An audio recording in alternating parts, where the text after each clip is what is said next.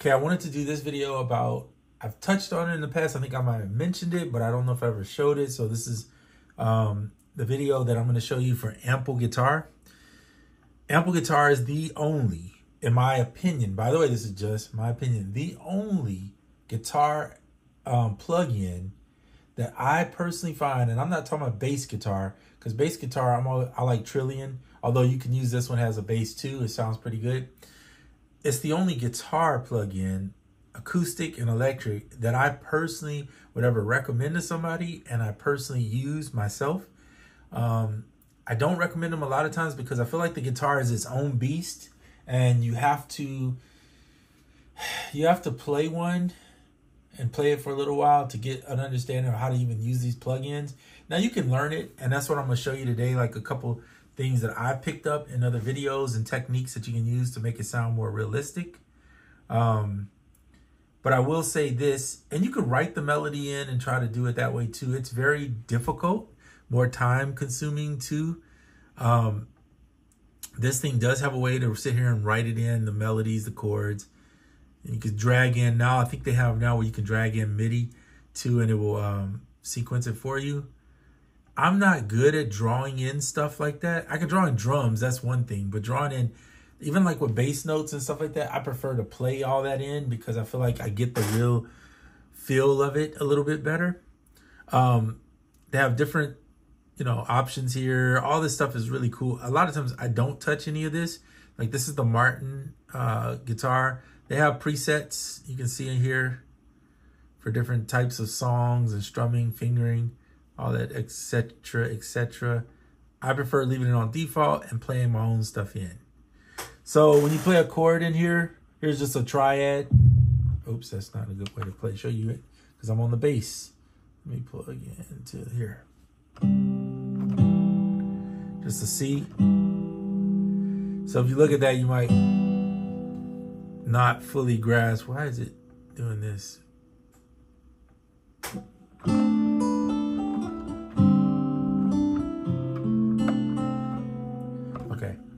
All right, so getting back to what I was talking about.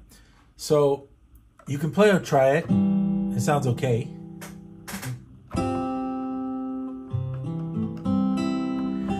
Guitar, typically you don't want to use more than six fingers. I usually say um, five fingers. And the reason why I say that, but six for sure, because there's only six strings and you typically one hand is strumming it, right? The right hand usually, or depending on which way you play, if you play left hand or right, right hand for me is always strumming, and my left hand is doing the chord. You can kind of see my hand, your fingerings, okay? So I'll use typically three notes to four notes maximum for a chord. The other hand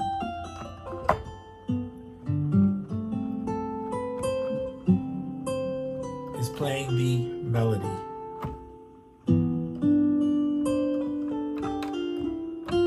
So my suggestion is always stay no more than four to five fingers, six fingers maximum.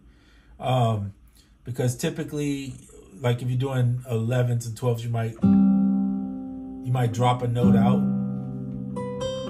And yes, this does work with uh, Scaler. You can use Scaler to to do the chordal parts of it.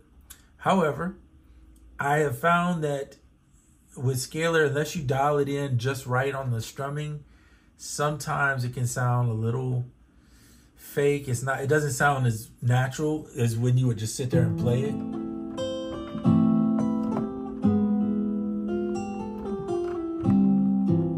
Because it gives you some variations. So I'm using two, one finger to play two notes there. If you look right here, you can see it.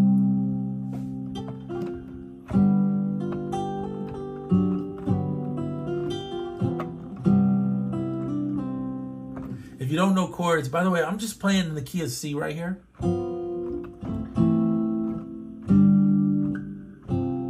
I'm not even using any of the black keys. Now I can.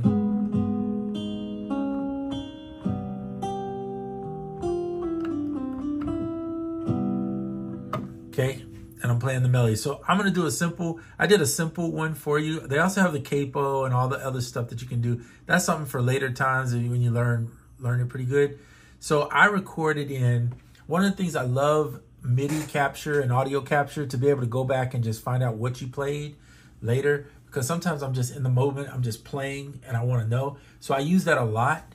I'll start playing something just to kind of like get an idea of what I want to do and then I'll build from there.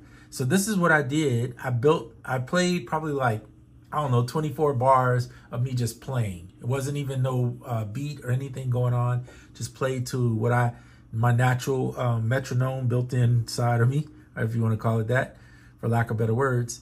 And I'm going to solo this out. I want you to, this is the intro I came up with. So listen.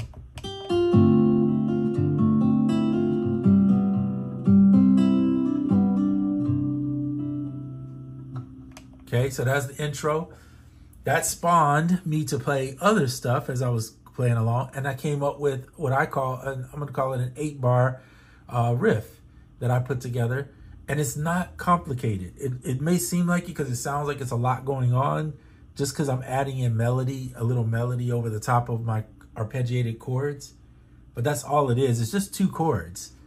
Well, it may be more, it's, it's basically two chords but as you can see right here, I'm playing a D and then here's the C.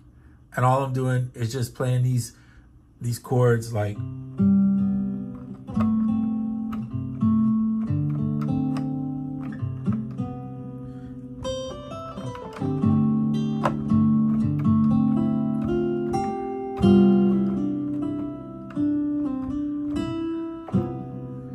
So that's what I'm doing. Check this out. I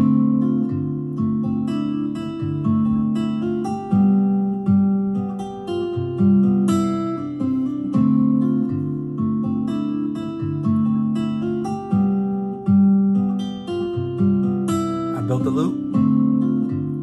Now, because I played that and I added in those melody parts over the top, and on top of that, I made it eight bars, it doesn't tire, in my opinion. Now, it may tire some out if you're a real guitarist, like, and I say real guitarist, like I don't play, I play.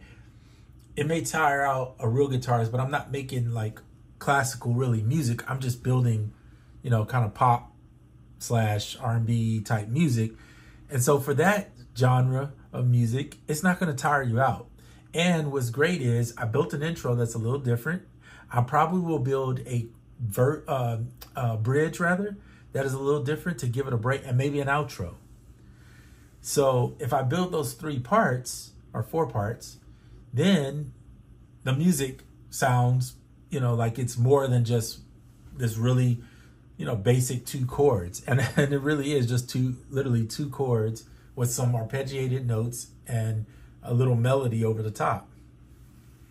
So I'm saying this to say that you can do this. This is not complicated. These are three note chord or triads basically. And they're all white keys. And here I'll show you the guitar again because you're looking at the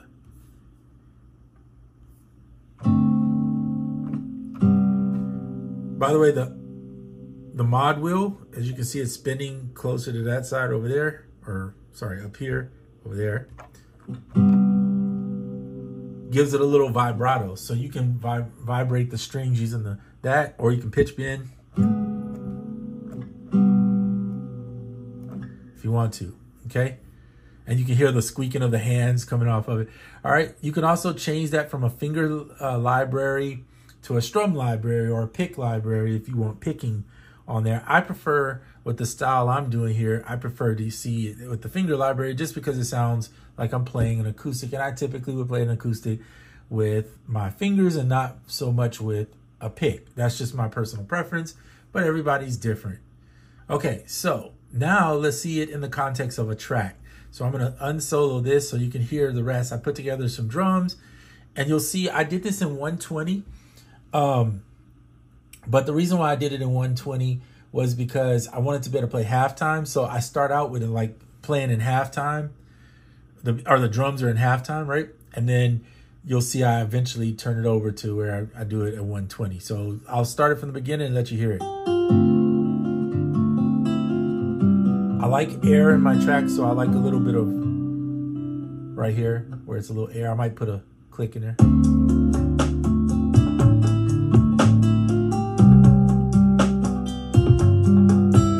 UBI Percussion on the factory. I, I mean, UBI Percussion Factory is doing the percussion portions of it for me.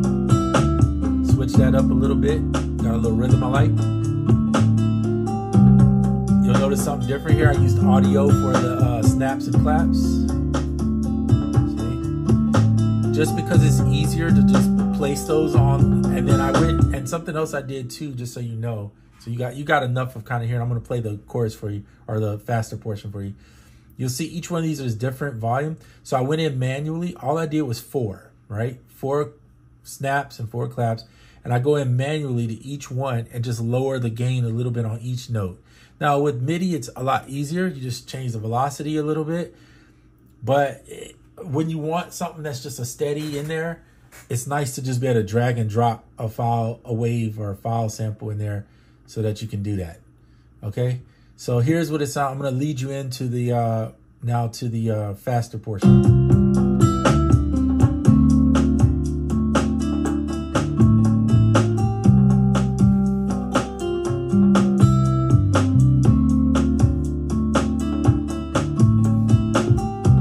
Made two bass parts. Here's the second part.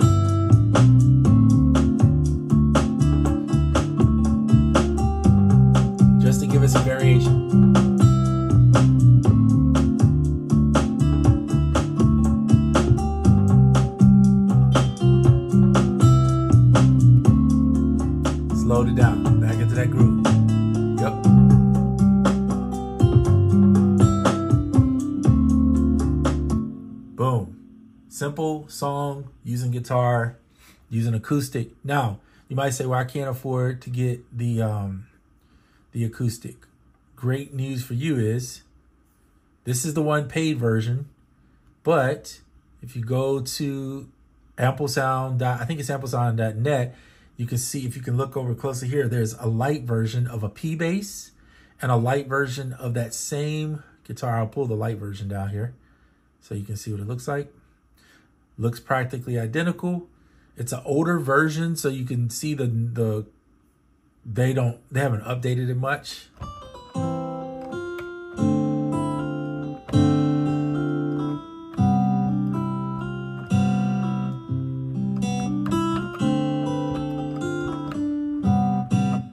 But it still works and it's free. So why not try it? So if you got um if you got a computer where you can download it, download it onto your computer and use the light version for right now until you can afford maybe catch it on sale like a Black Friday or something, and you can grab the real version if you want the acoustic.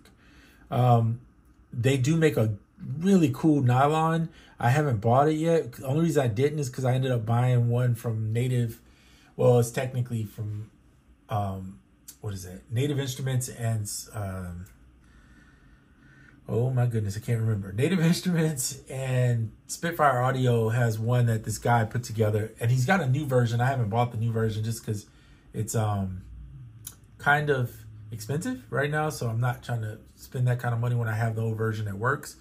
But I think eventually, personally, I'm just going to end up with Ample Sounds uh, guitar because I personally like the way their guitars sound, and I find it just really good. Plus, once you buy into Ample Sound, they start giving you little discounts. Um, 10% here, you know, etc., etc. Plus, you can add that on top of whatever, I think, if I'm not mistaken, on top of whatever uh, discounts they're offering at the time when you purchase. So I probably will get that classical one soon or whenever it goes on sale because I definitely like their guitars the best as far as the sounds go. Um, and they're just super fun to play. They sound great when I play them. I don't. I feel like I'm really playing the guitar in the sense of the way it's the way it feels. It's all about feeling, um, to me at least. Um, and so there you have it. That's all I wanted to show you. Um, I built this track maybe 10 minutes ago before I got on to to record this video. So yeah, it didn't take me that long but it is also a simple track. I didn't really make it super intricate. Um, and so I, I encourage you to try the light version at least if you don't have the money to get the regular version. I don't think they're too, too expensive. Let's, let's just, oh, I didn't mean to do that.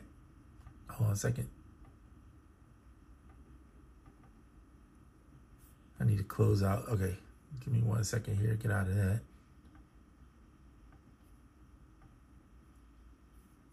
Oh, let me, I open like five windows at one time.